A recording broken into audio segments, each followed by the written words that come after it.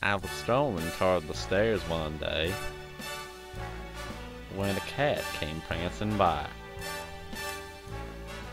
I paused to watch its movements when it gazed into my eye.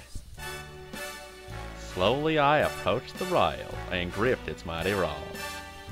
Its silky coat was charcoal black and its paws were soaked clawed.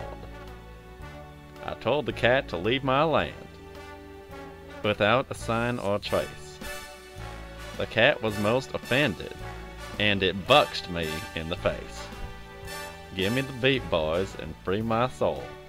I want to get lost in your rock and roll. And drift away. I looked into the cardboard box to see what lurked within. The only item in the box was a bottle full of gin. I raised the bottle to my lips to take a hearty sip, but when I looked into the glass, I got a pouty lip. In the corner of my eyeball, I saw two cats afar.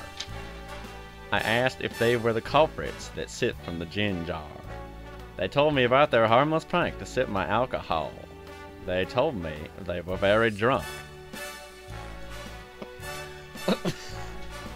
so I put them in the frickin' trunk.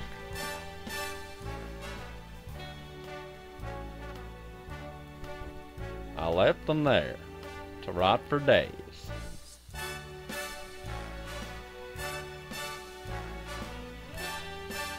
And then I ate some sweet corn.